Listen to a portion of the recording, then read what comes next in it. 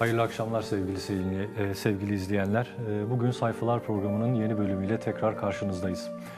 Bugün e, Doğu Türkistan meselesini konuşacağız. Özellikle e, 1949'daki Komünist Çin devriminden sonra zulmün had safhada olduğu mazlum coğrafyaların en başında gelen Türkiye'de yıllardır gündem olan Doğu Türkistan meselesini bugün tekrar konuşacağız. Ve Doğu Türkistan meselesini Türkiye'de en iyi bilenlerden e, bir isimle sizlerin huzurunda olacağız. İnşallah Mehmet Ali Öztürk, e, Mehmet Ali kardeşimle birlikte, Özkan kardeşimle birlikte sohbet edeceğiz. Bugünkü konuğumuz Hamit e, Göktürk. Hocam hoş geldiniz. Teşekkür ediyorum, sağ olun. Önce sizi kısa bir tanıtalım hocam. 1950 Doğu Türkistan'da Yarkent'te doğdunuz. 1961'deki o büyük göç dalgasıyla birlikte, Evet. babanızla birlikte Afganistan'a, e, 65'te de Afganistan üzerinden Türkiye'ye Türkiye. geldiniz. E, Burada ortaokul, liseyi, sonra da Selçuk Eğitim Fakültesinden mezun oldunuz. Evet. E, Onun dışında bakıyorum bir kamu kuruluşundan emekli Evet. olmuşsunuz. Doğu Türkistan Vakfı'nda 1993-2011 yılları arasında vakıf müdürü, genel sekreter ve başkan olarak çalıştınız ki Evet. ben de sizinle başkan olduğunuz dönemde tanışmıştım. Evet, sağ olun. Burada e, Uygur nokta uygurnet.org haber sitesinin yayın yönetmenliğini üstleniyorsunuz. Evet. Kitap ve yazı çalışmalarınız var bildiğim kadarıyla. Bir derlemeniz çıkmıştı. Şimdi yeni kitaplar üzerine çalışıyorsunuz. Bugün e, Doğu Türkistan e, konusunu inşallah sizlerle konuşacağız. Sosyal medyadaki etiketimiz de mazlum coğrafyalar. E, sevgili izleyenlerimizden de bu konuda sosyal medyadan e, bize istediklerini yazabilirler. E, Şimdi öncelikle şöyle başlayalım hocam. Doğu Türkistan meselesi Türkiye'de gündem olduğu zaman ki dönem dönem mesela 2009'daki olaylar, Gulcu olayları, Evet. Farklı olaylarla e, genelde Türkiye gündemine geliyor. E, Biraz da tabii dışarı kapalı, e, Evet. oradan çok bilgi sızdırmak ya da görüntü vermek bunlar çok büyük problemler. Bunlar Evet. verilmiyor. Hatta bunları sızdıran insanlar da bir hayati tehlike yaşıyorlar. Evet. Bunları biliyoruz. Kısıtlı bir imkanlarla zaman zaman da bir takım asparagas haberler de oluyor. İnşallah Evet. onlarla ilgili de soru soracağız. Tabii. Ee, İlk bölümde istiyoruz ki e, Mehmet Ali kardeşimizle de konuştum. İlk bölümde biz genelden bir Doğu Türkistan coğrafyası ile ilgili bir sohbet edelim. Daha sonra o bölgedeki e, hem dini hem sosyal anlamdaki baskılar, zulümler üzerinde konuşacağız.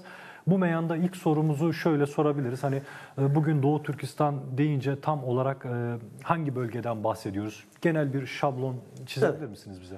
Efendim her şey, sözlerime başlamadan önce Doğu Türkistan'daki Müslüman Türklerin tarihin en sıkıntılı e, ve e, zor bir döneminde olduğu bir e, zaman sürecinde bu meseleyi gündeme getirdiğiniz için Semerkant Televizyonu'na çok teşekkür ediyorum. Allah razı olsun.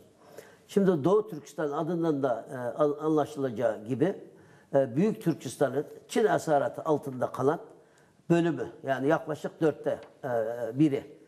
E, 1.8 milyon kilometre kare yüz ölçümü e, var. E, e, Doğu Türkistan'ın e, kaderi bugün Çin'in altıda biri yapıyor galiba öyle mi? Çin'in Çin'in altıda biri e, e, 6 milyon kilometre kare Türkistan toprağının Türkistan coğrafyasının da üçte biri e, bugün oluşturuyor.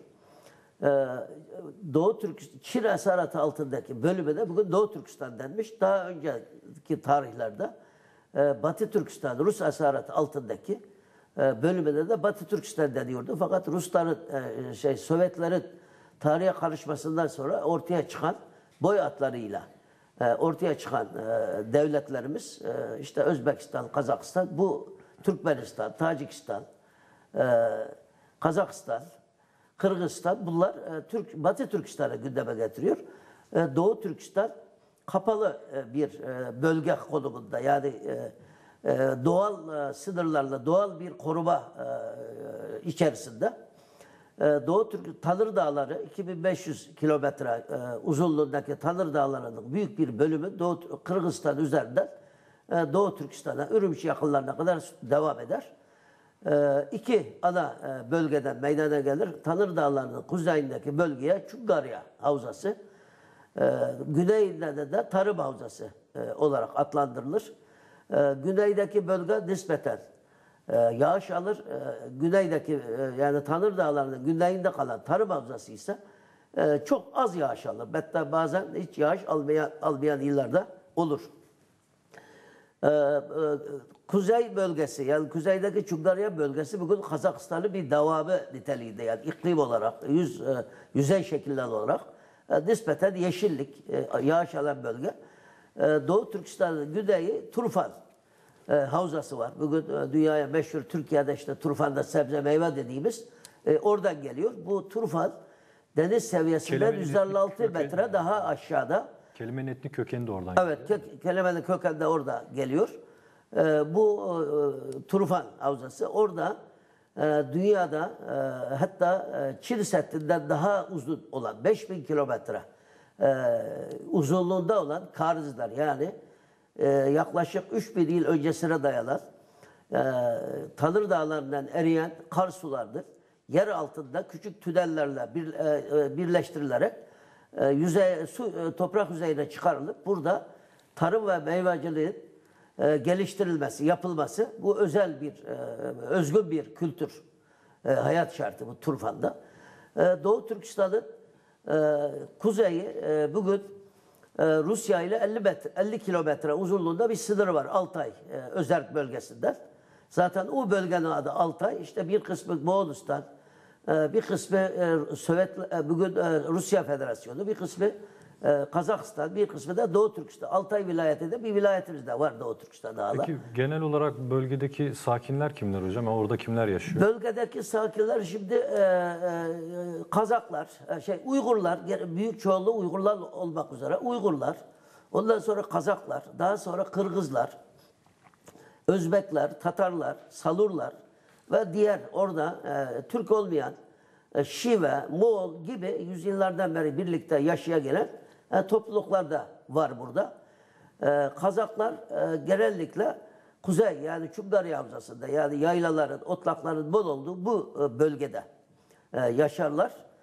E, e, Kırgızlar ise bugün Kırgızistan e, sınırlarına yakın Kızılsu e, e, olarak adlandırılan bir bölgede. Orayı da Çin yönetimi e, sözde e, Kırgız Özerk Oblast yani vilayet olarak adlandırıyor. Kırgızlar da işte e, Orhon Vadisi'ndeyken 18. yüzyılda 1700'lü yıllarda e, oradan Doğu Türkistan'a gelip bu bölgeye yerleşmiştir. Yani bu Kırgızistan'ın e, sınır bölgelerinde bir de Aksu'nun bir şey var. Akça diye bir ilçesi var. Orada Kırgızlar var. Yani bu iki bölgede Kırgızlar yaşıyor. Doğu Türkistan'da bugün nüfus olarak Çinliler 10 milyondan 15 milyona kadar zaman zaman bunu açıklıyorlar. E, fakat biz bunu en azından 3 ile çarptığımız zaman bugün Doğu Türkistan'ın nüfusunun 30 ila 35 milyon civarında olduğunu tahmin edi- ediliyor. Uygurların mı? Doğu Bu- Türk Tamamı, tamamı. Tamamı. Bunun 20 e, e, 7 20 7 28 milyonu Uygur, e, 1,5 2 e, milyonu Kazak, Kırgız ve diğer Türk kökenli e, insanlar, kardeşlerimiz burada yaşıyor. E, Doğu Türkistan coğrafi olarak şöyle baktığımız zaman fiziki coğrafyaya e, böyle bir e, doğal bir e, korunaklı bir bölge. Özellikle tarım e, bölgesi batıdan dünyanın damı sayılan Himalayalar, e, güneyinde ise karanlık dağları Tibet'le sınırlı. Bir de Çin'le olan bir çöl var, Gobi Çölü 500 e, kilometre derinliğinde Çin'le tabi e, olarak ayrılıyor geçmişte e, burada. E, böyle bir korunaklı Hocam bir ortamda. tam burada Çin demişken e, bu doğal korunaklı olan bu kadar e, etnik Evet. güzel bir yapısı varken Çin işgali ne zaman başladı? Şimdi Çin, e, Çin işgali ilk başlaması 1759. E, Biliyorsunuz e, Doğu Türkistan tarihi İpek yolunun düğüm noktalarından biri. Yani Çin'in Şiyan, eski başkenti Şiyan'dan başlayan ve e, Doğu Türkistan'ın Çin sınırındaki e, yani Çin Seddi'nin başladığı Kubul e, şehir kenar e, şehrinden sonra ikiye ayrılıyor bu yol. E, Bir yol Tanır Dağları'nın kuzeyinden e, Kazakistan üzerinden Avrupa'ya e, Kırım üzerinden e, Avrupa'ya e, ve İstanbul'a kadar ulaşıyor. Diğer bir yol ise Kubul'dan e, Teklemakan yolunun güneyinden e, Tibet'in e, kuzeyinden e, Himalayaları geçerek e, Arap Denizi'ne bugünkü işte Bombay, Karachi bu limanlara e, götürülen bir şey. Bu İpek yolunun, e, deniz yollarının keşfiyle İpek yolunun önemini kaybetmesi, buradaki güçlü devletlerin zayıflamasına daha sonra şehir devletleri haline gelmesine yol açıyor. Ve bundan istifade eden Çin yönetimi 1759'da işte birinci Mançu Çin İmparatorluğu, e, Çin Mançu istilası olarak e, Türkistan'ın siyasi tarihinde tanımlanıyor. Burada 1759'da Çin ordusu Doğu Türkistan'ı işgal ediyor. Yalnız bu işgal e, kendine bağlı yani bu şehir devletlerinin kendine bağlanması e, şeklinde devam ediyor 1763'e kadar. Bu ilk işgal değil mi? İlk hocam işgal, evet. Peki bu ilk işgalden sonra süreç nasıl değişti? Neler Şimdi oldu e, coğrafyada? e, bölgede? ilk işgalda e, mesela hanlıklar var orada. Kubul e, Hanlığı, Turfan Hanlığı, Kuçar Hanlığı, Hotan Hanlığı diye bu hanlıklar Çin devletine tabidir. Yani Çin devletine vergi ödeyen fakat yine devlet e, burada Türklerin elinde yine kendisi e, idare eden, kendi öz yönetimi olan fakat Çinli e, askeri güçlerinde zaman zaman burada konuşlandığı bir e, durumda bu devam ediyor. Bir, e, 1860'lı yıllara gelindiğinde işte Çin'de Afyon Savaşı var. Av- Avrupalıların Çin'i sömürgeleştirmek için yaptıkları e, e, böyle karışıklıklar var, savaşlar var. Bundan istifade eden Doğu Türkistanlılar bütün, ülke çapında e, ayaklanıyorlar ve bir, e, e, 863 yılın 60 yılında e, bu Çinlilere ülkeden işgalcileri kovuyor ve 1863 yılında Hokan Hanlığı'nın şimdiki Özbekistan'daki Hokan Hanlığı'nın e, subaylarından Yakup Han'ın e, liderliğinde e, Kaşgarya İslam Devleti kuruluyor. Yani devletin adı Kaşgarya İslam Devleti. E, bu devletin ilk işi de e, e, o kendi yeğeni Seyit Muhammed Yakup Han Törey, kendi yeğeni Seyit Muhammed Yakup Han Törey, Osmanlı halifesinin e, nezdine büyük fevkalade elçi olarak gönderiyor ve bu Abdülaziz Han mıydı? Abdülaziz Han'ın zamanında. Evet Abdülaziz Han'ın zamanında ve bu devletin tanınmasını ve kendisine tabi olduğunu ve bunu himaye edilmesini e, istiyor. E, ve e, Sultan Abdülaziz Han adına e, hutbe okutuyor ve para bastırıyor Doğu Türkistan'da 1863. Sonra herhalde e, yanlış hatırlamıyorsam Abdülhamit Han tahta çıkınca 1876'da Abdülhamit Han'a da tekrar gönderiliyor. Evet. Yine biat sunuluyor. Yine yardım isteniyor. Elbette oradan heyetler var. Şimdi bu Türk Dünyası Belediyeler Birliği 3 sene önce Osmanlı Belgeren'de Doğu Türkistan diye bir çok hacimli, çok güzel bir kitap yayınlandı. Bu kitapta oradaki yazışmaların hepsini e, burada e, e, zamanın e, Türkçesi ve şimdiki günümüz Türkçesine aktarıldı. O zaman bin, e, Sultan Abdülhamit Han'ın zamanında hatta yeni açıklandı bu olay. E, Sultan Abdülhamit Han zamanında bir gemi dolusu silah e, Doğu Türkistan'a gönderiliyor fakat İngilizler el koyuyor Karaçi Limanı'nda, Bombay Limanı'nda. Bu açığa çıktı şimdi. Fakat e, Abdülaziz Han zamanında bu elçi geldikten sonra bir alay e, Kazım Bey yani Albay Kazım Bey komutasında e, muazzaf ve emekli e, subaylardan, e, top ve tüfek ustalardan yani teknik elemanlardan kurulu 17 kişilik bir heyet Doğu Türkistan'a gidiyor. Ve e, bu heyet benim memleketimden geçmesi lazım. Yarkent'te bu Yakup Han Bedevlet o kadar önem veriyor ki halifenin elçisine. Yarkent'e kadar geliyor 220 kilometre. Yani atla 5 günlük yol o zamanında. Elçiyi karşılamak. Elçiyi karşılamak için de 101 para top atışıyla elçiyi burada karşılıyor. Yani bayram havası esiyor o anda.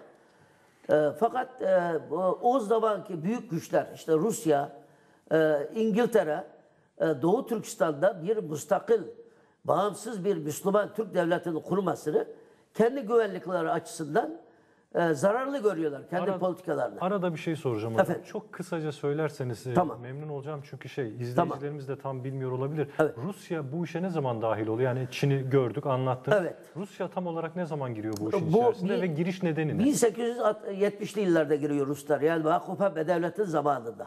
Evet. Ya, Şimdi Ruslar e, Doğu Türkistan'da müstakil devlet kurulmasını kendi e, esaretı altındaki e, Müslüman toplulukları yani Türkistan e, halkına bir örnek teşkil edebileceğinden endişesi var. İngilizler de hakeza Hindistan'da ve Orta Doğu'daki Müslümanların bu Doğu Türkistan'daki bir müstakil devletten ilham alabileceğini ve kendilerine isyan edebileceği korkusuyla e, o zaman e, İngilizler e, e, Çinlilere 400 milyon sterlin e, kredi açıyor ve bu parayı kullanarak Ruslar silah veriyor. Yani bir İslam e, korkusu var. Korkusu var tabii. Bölgede İslam'ın E, yayılması Yayılmasını ve istenmiyor. İslami bir devletin kurulmasını istemiyorlar. Zaten herhalde Çin bir taraftan geliyor, Rusya bir Rusya taraftan, bir taraftan geliyor. geliyor. Artık komşu Çin o zaman çok zayıf bir durumda. Çin'in Doğu Türkistan'ı tekrar e, istila etmek gibi bir düşüncesi de yok. Paraları yok. O Fakat zaman güçlü olan herhalde İngilizler değil mi hocam? İngilizler O güçlü, coğrafyada İngilizler Çin kışkırtıyor üzerinde. esas. İngilizler diyor ben para vereyim. Ruslara diyor ben kredi açayım Çin'e silahları sen ver. Çünkü yakın orası. Ve bu şekilde o bu devleti yıkıyor. E, e, Be devleti Yakup devletini yıkıyor yani. Peki e, Abdülhamit Han döneminden yine kısaca bahsedecek olursak mesela Abdülhamit Han e, işte Muhammed Ali diye bir ajanı var onu gönderiyor. Evet evet. Bölgeyle ilgili. Bölgedeki Müslüman alimler hem e, Çinli Hui Çinleri hem onlarla görüşüyor hem oradaki Uygurlarla görüşüyor. Onlarla ilgili neler söylersiniz? Şimdi o zaman bu e, Osmanlı Osmanlı belgelerde Doğu Türkistan e, kitabında yazıyor bunu. Zamanında 1906 yılında Sultan Abdülhamit Han'ın zamanında Kubul'un kadısı e, Turfan'ın e, müftü ve alem diyorlar o zaman. Yani idari işlerine bakan yetkili o zaman. Bunlar İstanbul'a geliyorlar bir e, şey sürüyor, e, sunuyor. Bir e, rapor sunuyor. Yani Doğu Türkistan'daki genel durumla ilgili rapor sunuyor ve raporda diyor ki bizim ülkemizde e, İstanbul'a geldik burada gördük çok hoşumuza gitti diyor. Çünkü hutbeler, e, ayetler Arapça okunduktan sonra onun Türkçe tercümesi veriliyor. Anlamı anlatılıyor. Biz de gittikten sonra aynı şeyi yapacağız diyor. E, ve Sultan Abdülhamit Han'ın huzuruna geldiği zaman bu e, e, kadılar e, sehpada işte oturmasını teklif ediyorlar. Oturmuyorlar. Biz halifenin önünde dizimizin üzerine oturmayız da ye- e, e, yerde oturuyor. Büyük bir bağlılıkları var. Bağlılık yani. ve Bir de hürmet herhalde saygısızlık Saygı, görüyorlar. saygı babından oturmak istemiyorlar. Çünkü ayaklarını uzatıp oturması lazım. Biz halifenin önünde böyle oturmayı biz zul sayarız kendimize. Ve yere halının üstüne inip böyle diz üstü oturuyorlar orada ve çok hoşuna gidiyor. Ve çok e, padişah bu da. Yani bu şimdi bakın 1913'te Orada kitap hediyeleri var değil mi? Çünkü Tabii kitaplar e, e, çok, kitap, gönderdi. hediye ediyor. Çok kitap hediye ediyor fakat o zamanki şartlarda bu kitapları bunların kendi başlarında kiralayarak götürmesi mümkün değil. E, bunu söylüyorlar. E, buna da e, o zaman e, sadrazamlık makamı e, e, marif nezaretine yazı yazıyor. Diyor ki işte marif e, şey bütçesinden e, bu Doğu Türkistan'dan gelen bu misafirlerimizin kitaplarının Doğu Türkistan'a kadar e, nakıl masrafı için para verilsin diye. Tahsisat istiyor yani. Evet, tahsisat istiyor ve tahsisatı da alıyor ve bu kitaplarla birlikte Doğu Türkistan'a dönüyorlar. Yani Doğu Türkistan'da e, ta o zamandan beri, o zamandan beri günümüze kadar yani Türkiye ile hiçbir zaman ilişki kesilmemiştir. Tabii o zamanlar Çin biraz daha zayıf demiştiniz ilk Evet, dönemlerinde. evet. Sonra Çin güçlendi. Evet. Çin güçlendikten sonra e, biraz daha baskı Çin tarafından gelmeye başladı ve etnik e, ayrımcılıklar Ayrımcılık evet. yine başladı. Bu süreç nasıl gelişti? Şimdi e, Çin e, Çin e, bütün dünyadaki e, Çinli e, Çinli ve Çinli olmayan milletleri bir araya koyun, Çin'i bir araya koyun. Şimdi Çin e, tarihten beri aynı bölgede dünyadan böyle kapalı, izole bir şekilde yaşamış bir halk. Şimdi Çin de bizim anladığımız manada işte Uygur, Arap, e, işte Afrikalı, e, zenci falan bir kavram yok. E, e, Çinli ve Çinli olmayan. Barbar onların dilinde barbar. Ya onlar Çinli bütün coğrafyayı iki, iki, parça iki görüyor. ayırıyor. Bir kendileri Çinli, bir de ha, dışındakiler. Çinli ve Çinli olmayan barbar onlar. Ve kendi e, memleketlerinin adı da Cunhua. Cunhua demek dünyanın merkezi demek. Yani dünyanın merkezi biz. Yani Çin'de eskiden beri böyle devam eden, yüzyıllardan beri, milattan önceden beri devam eden e, bir Çin ırkçılığı var. Günümüzde ise bu Çin ırkçılığı, Çin'deki işte gelişmeler, e, dünyada e, Çin'in önem kazanması, işte zengin olması, ekonomik olarak güçlenmesini bunu şimdi günümüzde bunu bir e, e, Uygurlar e, yani Uygur Türkleri bugün Doğu Türkistan yalnız Uygurlar değil. Şimdi eskiden Uygurlar eziyordu şimdi Kazaklara geldi sıra. Kazakları da eziyor. Onları da zulmediyor. Çok kısa zaman önce Nazarbayev Kazakistan Devlet Evet, Başkanı çok akıllı. vermiş. Evet. galiba. Şimdi e, Çin'in bir e, politikası var. Üç e, türlü Paksidika olarak adlandırılan. Önce rakipleri. Rakip dediği düşmanları e, önce parçalayacaksın diyor. Aralarında fitne sokup parçal. Yani bu fitne sokmak Çin'in e, milli e, e, politikasında, milli siyaset belgesine, belgeseline yansımış durumda. Bu bizim e, yazılı ve sözlü edebiyata yansıyan da bir durum Elbette. Bugün bak şimdi Kuruzi enstitüleri var, Konfüçyüs enstitüleri. Türkiye'de birçok e, üniversite bunu kurdu. Bak e, Konfüçyüs'ün bir sözü var. bir milleti yok etmek istiyorsa önce dilini yok et diyor. Bu Çin'in Doğu Türkistan'da yaptığı da aynısıdır yani. Evet. Evet. Peki e, reklama az kaldı da o yüzden ben Evet. e, tekrar bir soru daha sormak istiyorum. Şimdi buradaki etnik ayrımcılığı falan e, yani girişini gördük de mesela ikinci bölümde daha detaylı konuşacağız. Evet Ama bu etnik ayrımcılıkta başlıklar halinde söylersek Çin genelde bu politikayı nasıl yapıyor? Neler yapıyor halk Şimdi Çin e, Çin'in politikası devamlı kandırma, insanları sinsice aldatma e, şe- şeklinde. Şimdi bakın e, 1949'da Çin ordusu mustakil yani bağımsız Doğu Türkistan Cumhuriyeti'ni yıkıp orayı işgal etti. 1955'e kadar Çin ordusu idare etti. Yani askeri bir yönetim var. Bu yıkmadan önce şey var mı hocam? O arada onu da sormuş olayım. Mesela 1917'deki Rusya'daki Bolşevizm ihtilalinin hemen öncesinde e, Lenin ve o kurmay kadrosu Türk coğrafyalarına, oradaki tüm Türk halklarına e, böyle bir devrim olursa devrimden sonra hepinize bağımsızlık sözü veriyoruz diye Aynen. kandırmışlardı. Aynen. Bu aynı uygulama Aynen, galiba Çin'de aynen, de var aynen. değil mi? İşte Sultan Galiyev e, Tatar alim onlarla bir işbirliği yaptı.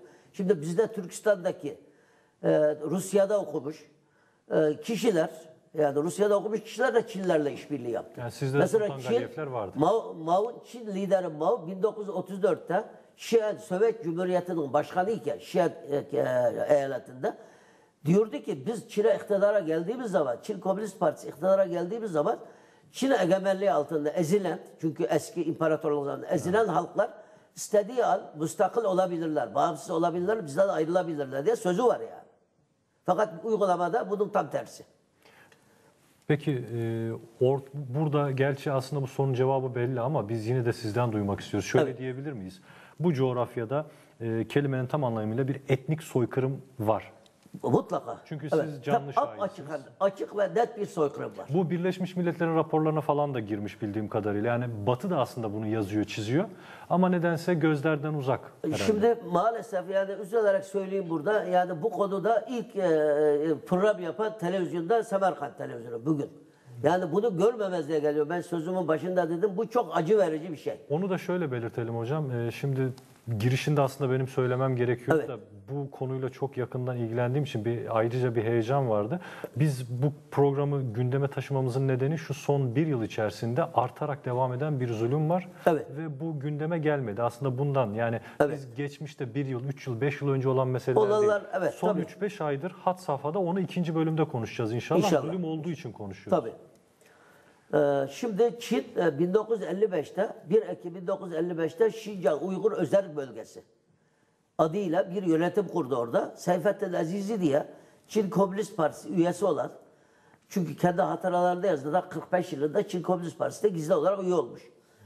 Bu şahıs 1978'e kadar e, bu sözde özel bölgenin hükümet başkanı olarak görev yaptı. 23 yıl. 23 yıl.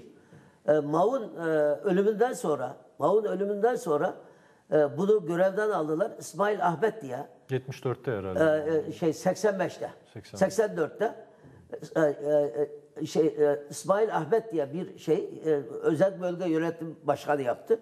İsmail Ahmet 1985'te Türkiye'ye geldi. Şey, pardon se- se- 78'de. 78'de İsmail Ahmet e, bu Seyfettin Azizi'nin yerine e, özel bölge başkanı oldu. Fakat e, bu Türkiye'ye geldi 85'te. Tarış'ı ziyaret etti. Türkiye'de Ege bölgesini ziyaret etti. Dedi e, aynen ifadesi şu. e, e, Doğu Türk yani Şincan'la yani Uygurlarla Türkiye arasındaki ilişkiler ne kadar ilerlerse Türkiye ile Çin arasındaki ilişkiler de o derece ilerler. Yani burada e, Türkiye'deki işte e, e, meyvacılık e, de yeni gelişmeleri, bu meyvelerin nasıl değerlendirir, nasıl pazarlandığı hakkında e, orada uzmanlarla geldi. Burada tabi bu e, araştırmaları yaparken bunu görevden aldılar. Bu şahsı. Ve Pekin'e götürdüler. Hala Pekin'de yani Doğu Türkistan'da pek gelemiyor. Yaşı da ilerledi. Yani böyle bir aldatmaca siyaseti güttüler. Yani Çin yavaş yavaş insanların nasıl aldatılacağını, nasıl kandırılacağını e, çok iyi biliyor. Yani bu şekilde bugün e, böyle yavaş yavaş, yavaş yavaş hani Çin, e, Çinlilerde bir e, deyim var Doğu Türkistan'da. E, e, e, şey arabası, öküz arabasıyla tavşan av- avlamak. Şimdi öküz arabası yavaş gider biliyorsunuz. Tavşan hızlı kaçar. Çin aynı öküz arabasıyla tavşan avladı. Yani günümüzde artık bıçak kemiğe dayandı. Onu ikinci bölümde inşallah. Bir bunu- de 5 altın anahtar diye bir uygulamaları var galiba. Yani dine karşı başka bir şekilde Şimdi bakın saldırı. 49'da ben çocuktum. Ben hatırlıyorum. Şimdi insanları sınıflara böldü. Orada e, ekonomik dengesizler çoktu. Din, e, ilim adamlardı. Bak şimdi bu şimdiki komünist Çin değil. Daha önceki Çin'de Doğu Türkistan'da da okumuş adamları, böyle aydınları, din adamlarını tamamen onlar zamanla yok ettiler yani. Onlar millete be- beyni durumunda olan, düşünen beyinleri, millete önderlik yapabilecek, onlara liderlik e, yapabilecek insanlar yok etti. Kültüre yani beyni, beyni olmayan insan ne yapacak? Toplum ne yapacak? Yolunu şaşıracak. Ve birisinin mutlaka başka kendisine zorla e, rehberlik yapan, kendisine lider olmak peşinden mecbur gitmek zorunda kalacak. Evet, peki hocam. Ee, inşallah ikinci bölümde özellikle şu son 3-5 Evet, aydır gelişen hadiseler üzerinde duracağız. İnşallah. Oradaki baskılar, sıkıntılar, problemler üzerinde. İnşallah, sağ. Evet sevgili seyirciler, Doğu Türkistan'ı konuşuyoruz. Etiketimiz mazlum coğrafyalar. Ee, Kudüs gibi ya da dünyanın başka yerindeki mazlum coğrafyalar gibi Doğu Türkistan'da bugün mazlumluğa devam ediyor. Ee, İnşallah ikinci bölümde oradaki e, son dönemdeki son birkaç ay içerisinde yaşanan hadiseler üzerinde duracağız. Reklamlardan sonra tekrar birlikte olmak dileğiyle.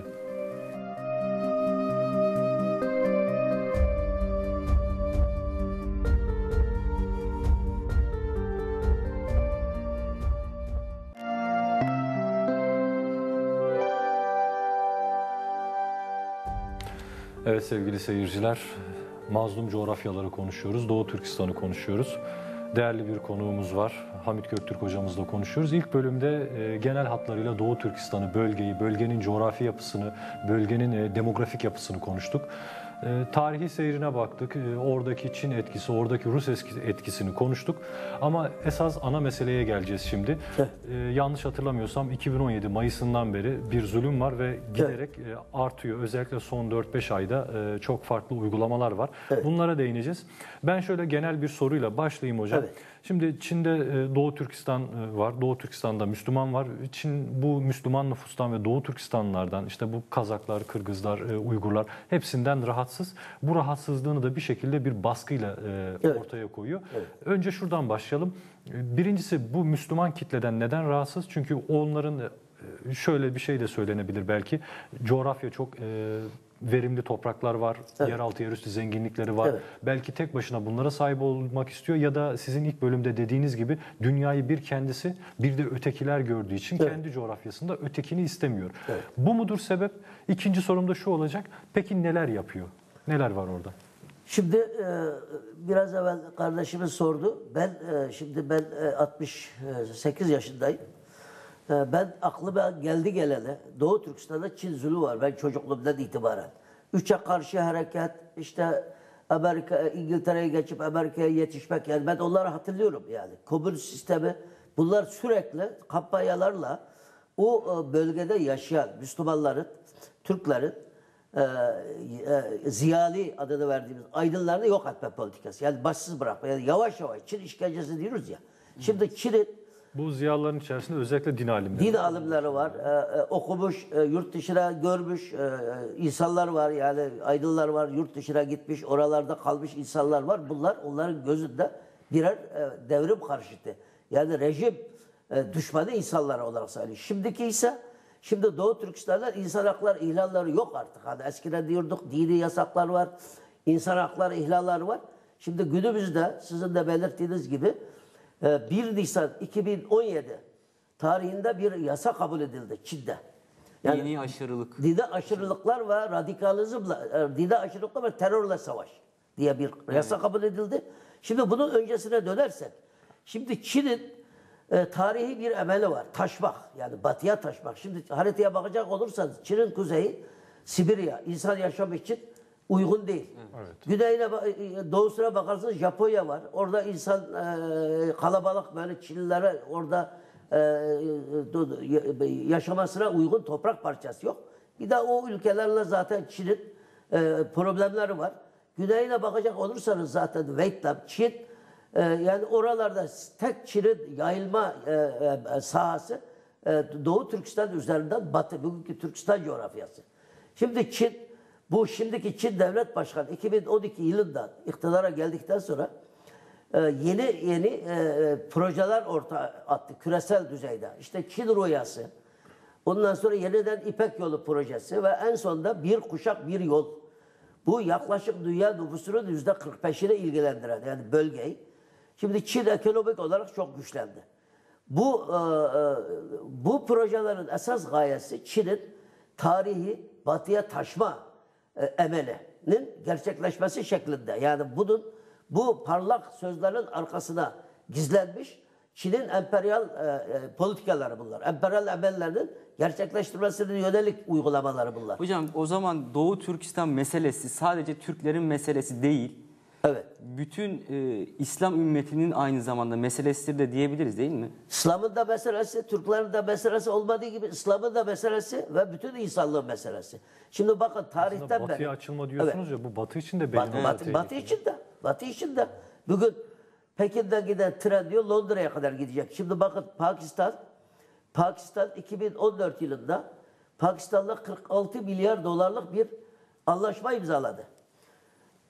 Kaşgar'dan e, Arap Denizi kıyısındaki Belucistan'ın deniz kıyısındaki Gwadr limanına kadar 3000 kilometre uzunluğunda özel karayolu, yüksek süratli karayolu, demir yolu, yüksek e, süratli e, demir yolu, bir de gaz ve e, ta- doğal gaz ve petrol e, boru taşıma hattı. Buraya kadar yani Doğu Türkistan'ı e, e, Arap Denizi'ne yani İran körfezine kadar getirecek bir proje. Bu proje yapılıyor ama nasıl yapılıyor?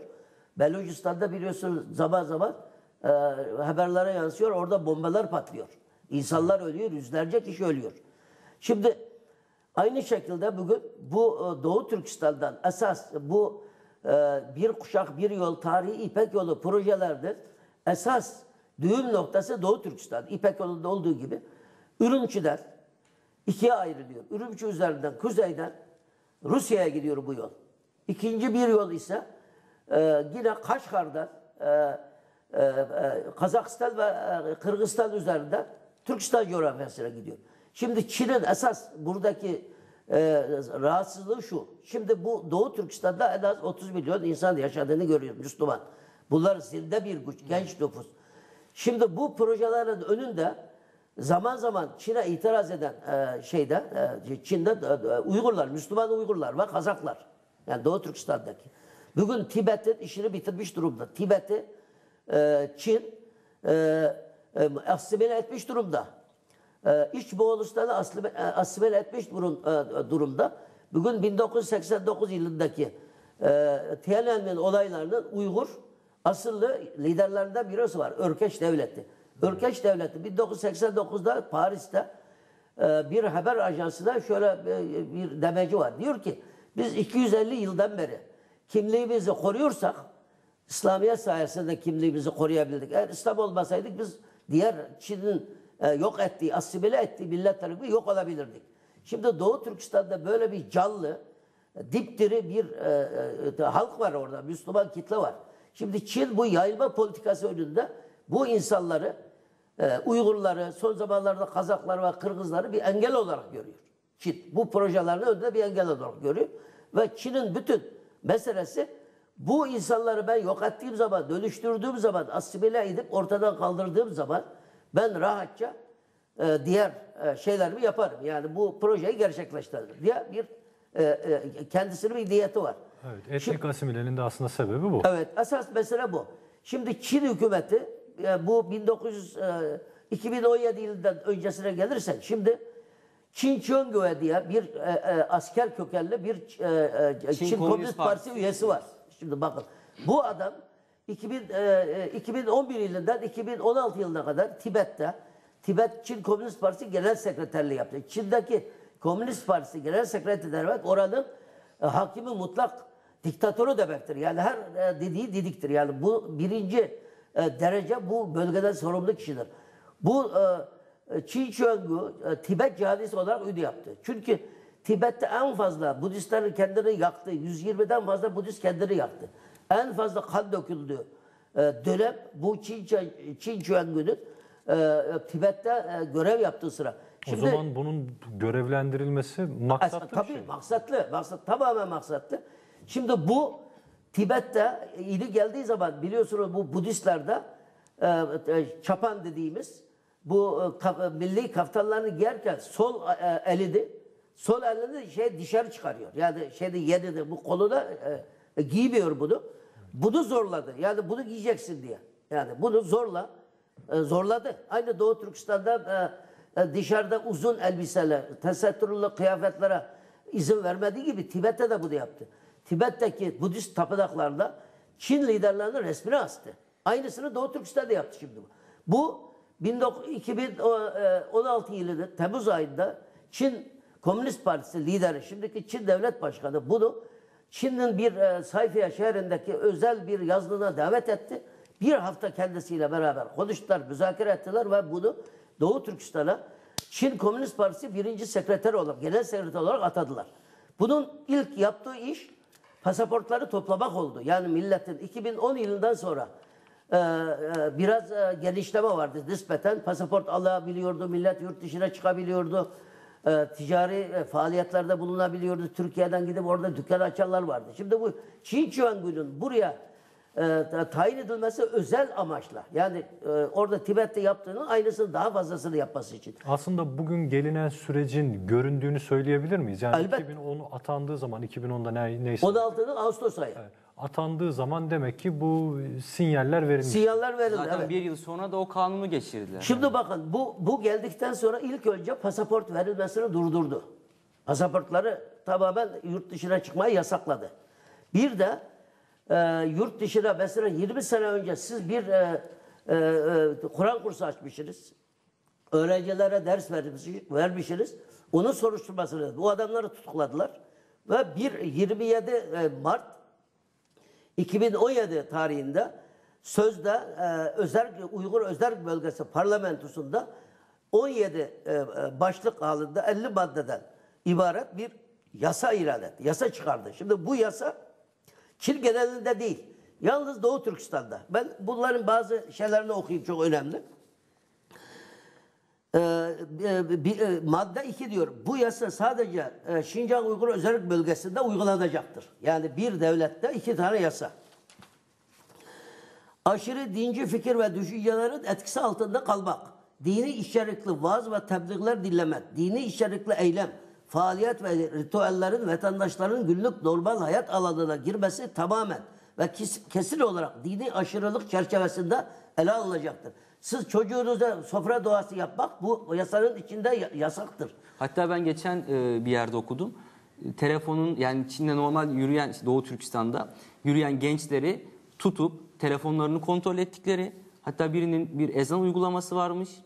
E, bu sebepten dolayı tutuklandığını Bu okudum. senelerden beri devam ediyor. Bu yani 3-5 senedir devam ediyor. Tabii mesela ay yıldızlı herhangi bir tişört, Ayıl, bir şey ayıl, giymek. şimdi o- o- onlar var bak ben, ben onları hep söyleyeceğim. Ee, Devam edin o zaman. evet. Uygur Özel Bölgesi yönetimi bu dini aşırılıkları mutlaka engelleyecek. Bu konuda eylem ve faaliyette bulunanlar ele geçirilerek cezalandıracaktır. Buna tevessül edenleri ezerek yok edecektir. Aşırı dinci akımlarla mücadele esnasında Çin Komünist Partisi yönetimi ÇKP'nin din politikasını kesin olarak bağlı kalacaktır. Dini faaliyet ve hayat konusunda Çin Komünist Partisi yönetiminin yasalarına, yönetmelik ve kurallarına kesinlikle riayet edilecek ve dinin kesin olarak Çin'e uyumu sağlanacaktır. İslam dini kuralları ülkemizde mevcut sosyalist rejimin kanun ve nizamlarına mutlaka uydurulacaktır. Aşırı dini akımlarla mücadele ve bu akımları ebedi olarak bitirme savaşında başarı gösteren ve katkı sağlayan yani ihbar eden ve ispiyonculuk yapanlar ve bu mücadelede başarılı olan kişi ve kuruluşlar ödül- ödüllendirilecektir. Şimdi bu e, bu yasanın 9. maddesinin 15. bölümü. Dinin teşvik ve reklamını yapmak ve yaymak. Dini e, e, aşırı dini akımların tanımı bu. Dinin teşvik ve reklamını yapmak ve yaymak. Dini faaliyetlere davet etmek, katılmaya teşvik ve ısrar etmek. Din adamlarına maddi yardımda bulunmak. Düğün, cenaze ve miras işlerine dini karıştırmak kendi dini dışındaki yani gayri e, İslam dininin dışındaki kişilerle ilişki kurmamak ve onlarla birlikte yaşamayı reddetmek. Şimdi bugün onlara geleceğiz. Şimdi her eve ko- kocaları hapiste, kadınlar hapiste, evin hanımı hapiste. Kadın olmayan eve er- e, e, bir Çinli kadın erkek olmayan eve de bir Çinli erkek. Bu yeni uygulama. Bu yeni bu bu kanun esas bunun temeli bu. Vatandaşların kültürel etkinlikler ve eğlencelerden soğutmak, devlet televizyonları ve radyolarda yayınlanan programları, eğlence amaçlı ahlak dışı programları seyretmeyi ve dinlemeyi reddetmek. Siz televizyonu ben dinlemeyeceğim, bu programı sevmiyorum deme hakkına sahip değilsiniz. Dediğiniz zaman suçlu duruma düşersiniz. Helal kavramını yemekten başka alanlara çekerek bu helal değildir diye insanların modern hayat tarzına karışmak. Tesettür amaçlı kıyafetler giybet, dini simge taşıyan süs eşyasıyla süslenmek ve bunlara başkalarını da özendirmek.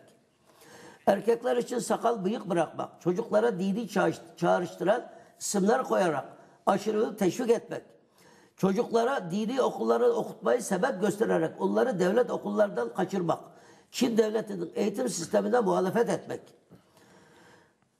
kamunun ve şahısların mal mülkünü haram olarak niteleyerek devleti ve şahısları zarara uğratmak. Aşırılıkla ilgili makale, kitap, CD, video ve benzeri materyalleri üretmek, yayınlamak, dağıtmak, satmak, saklamak, çoğaltmak, okumak ve seyretmek. Devletin doğum kontrolü uygulamasına müdahale etmek, karışmak, engel çıkarmak. Diğer söz ve ifade, hareket ve eylem ve davranışlar. Bu e, e, özel e, bu maddeler. Şimdi bu maddeyi çıkardıktan sonra Çin, e, bu Çin Çivengu şimdi ilk önce pasaportları e, topladılar Doğu Türkistan'da. Elinde pasaport olanları dedi ki şu tarihe kadar bulunduğunuz yerdeki karakola gidip orayı teslim edeceksiniz. Ki dışarı çıkılmaz. Çıkın, çık, yani pasaportlarına el koydu. Artı geçen sene e, Türkiye dahil yani yurt dışında e, binlerce öğrenci var. Yani Avrupa ülkelerinde olsun yani Çin'in şimdi son zamanlarda Çin'deki bu liberal e, e, uygulamalara yararlanıp parası olanlar, para kazananlar çocuklar da yurt dışında. Özellikle Türkiye'de, Mısır'da, İslam ülkelerinde, Suudi Arabistan'da, Yemen'de, Birleşik Arap Emirlikleri'nde e, okutanlar var. Suriye'de de vardı. İç savaştan sonra onlar geri geldiler Türkiye. Şimdi e, bunları geri çağırdı. Bunları çağırırken e, annesine babasına karakola çağırıyor ve onlara telefon ettiriyor. Şantaj yapıyor. Bak senin çocuğunu buraya gelmezse biz seni tutuklayıp hapse atacağız. Yaşlı insanlar bu şekilde. Geçen bir özel üniversitenin rektör yardımcısı ziyaretine gittik geçen sene. Dedi ki bu okulda dedi 100 kadar Uygur öğrenci var. Bunlar her gün alay geliyorlar. Öyle din diyanetlerde fazla şeyleri yok. Yeni geldiler. Şimdi bunlar bana soruyorlar ağlayarak. Gideyim mi gitmeyeyim mi? Siz ne dersiniz dedim. Hiç gitmesinler dedim. Gittiği zaman bunları içeri atacaklar. Annesi babası ölüm e, e, hayatı müddetince bunları ağlayacak. Hakikaten e, Türkiye'den pek giden olmadı ve Türkiye'ye polis gönderemiyor. Artık Türkiye'ye baskı yapamıyor Çin. Ama aynı Çin Mısır'da okuyan 2000 kadar öğrenci vardı.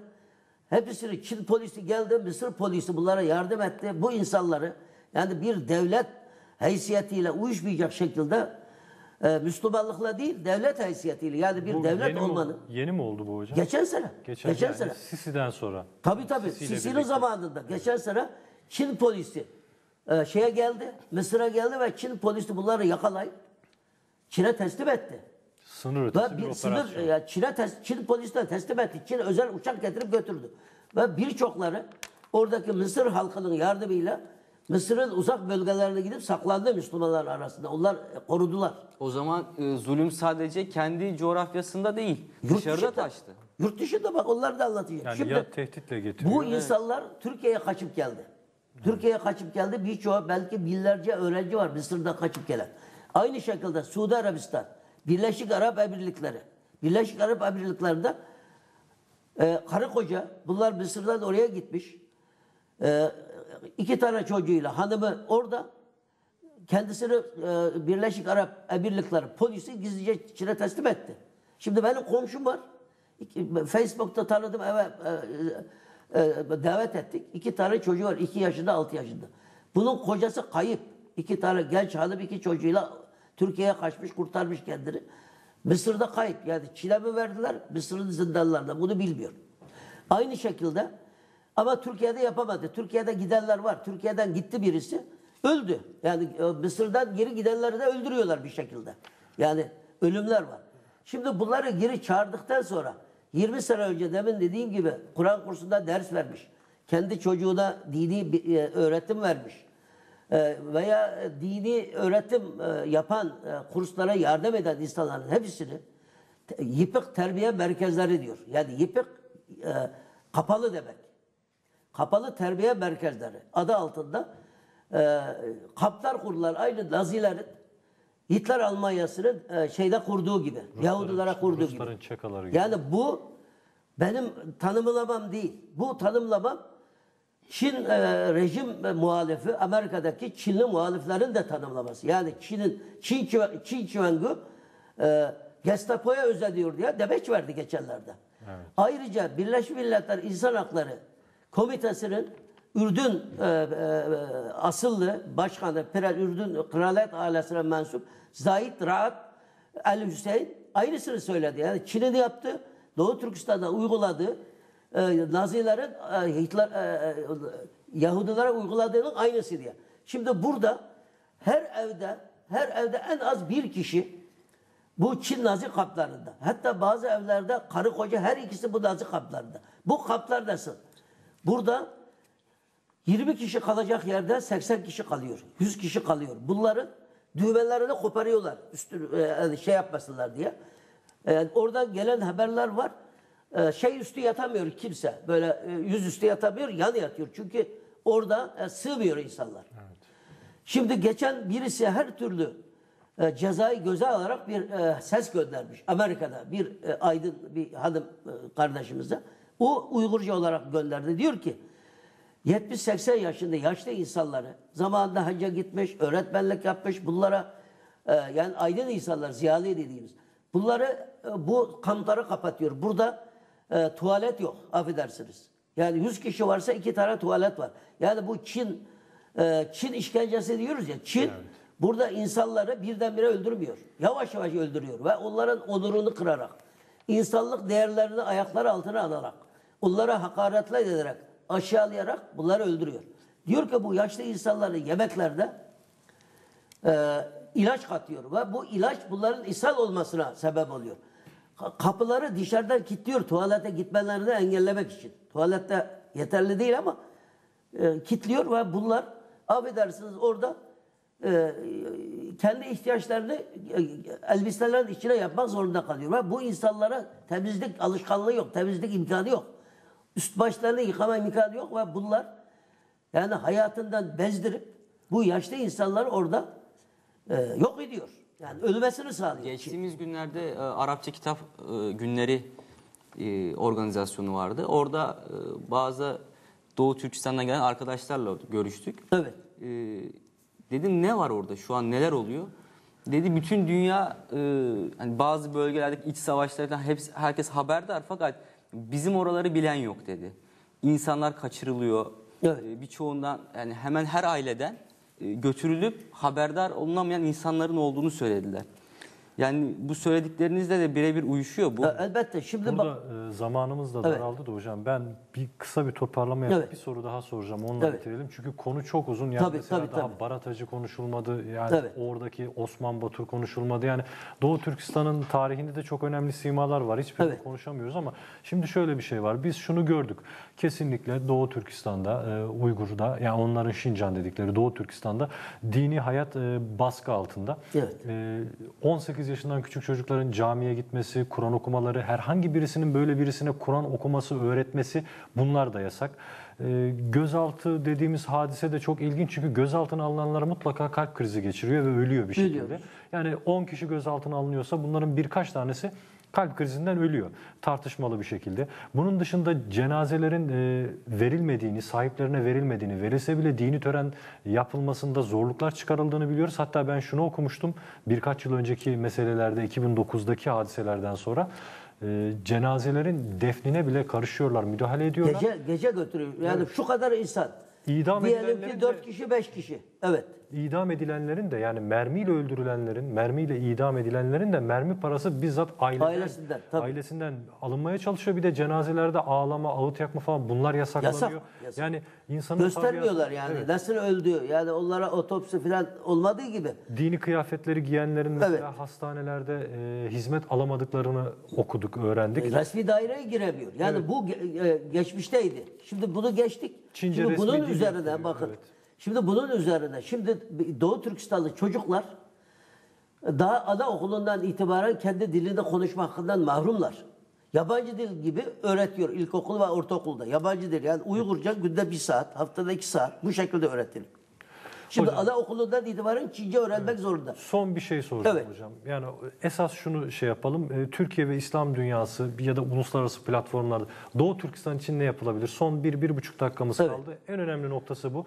Böyle kısaca ne yapılabilir? En önemli noktaları Şimdi e, ne yapılabilir? Bu çok önemli bir soru.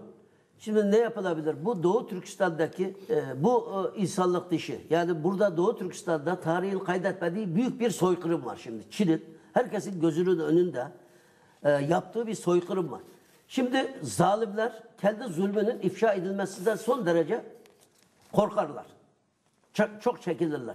Bunu ifşa etmek en, en önemli mesele bu. Bakın şimdi Çin, Türkiye'de bazı kendine bağlı Çin yanlısı basın organlarını kullanarak Doğu Türkistan'da böyle bir şey olmadığını iddia ediyor. Yani Çin'den rahatsız. Türkiye'de geçenler hanımlar e, burada e, e, gösteriler yaptı. İstiklal Caddesi'nde dünyanın e, 18 ülkesinde 24 kentinde aynı gün 15 e, Nisan şey 15 Mart saat 10'da başlayan bir gösteriler oldu. Bunlar bayağı ses getirdi ve Çin yönetimi bundan son derece e, rahatsız.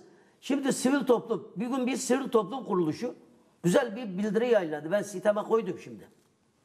Bu şekilde bizim sivil toplum, devletimizin bazı e, handikapları olabilir. Bu devlet bizim devlet. Bizim onda bir herhangi bir şikayetimiz yok. Devletin e, uluslararası politikaları e, ve dengeler bağlamında e, sıkıntılar olabilir. Ama sivil toplum kuruluşlarının görevi bunlara göz yummak değil. Devletin şeyine e, e, yandan e, e, yana olmak değil. Sivil toplum e, görevi o e, nizamnamelerinde, tüzüklerinde yazan insan hakları ile ilgili e, gereklerini yerine getirmek, onları yerine getirmek. Çok Tepki göstermeleri demek. Evet, Tepki çok göstermek çok önemli. Hocam çok teşekkür ediyoruz. Biz de çok gibi teşekkür konu ediyoruz. çok derin, çok uzun bir konu. Belki böyle 1-2 saat daha konuşsak Evet, bitmeyecek. evet. Bu arada ben de size iki tane kitap hediye edeceğim inşallah. Benim kitaplar kalmamış inşallah ben göndereceğim İnşallah size. sizden de bekliyoruz. Biz e, özellikle ben e, Darbe 1878 Ozan Bodur'un kitabı. Bu içinde Doğu Türkistan'la ilgili bir mektup var. Çok Evet. da özel ve önemli. Bir bu, e, bir de yine naçizane bizim kaleme aldığımız konuşan tarih Abdülhamit Han'ı konuşuyor. Bunun içerisinde de yine e, Çin ve Doğu Türkistan'la ilgili Abdülhamit Han'ın politikaları ile ilgili şey, e, bilgiler var. O yüzden bunları da size inşallah hediye edeceğiz. Çok E, teşekkür- Ayaklarınıza çok sağlık. sağ Çok teşekkürler. Evet sevgili seyirciler e, Sayfalar programının e, sonuna geldik. Haftaya salı günü 21.30'da aynı saatte tekrar farklı bir konu ve farklı bir konukla sizlerle buluşmak dileğiyle Allah'a emanet olun.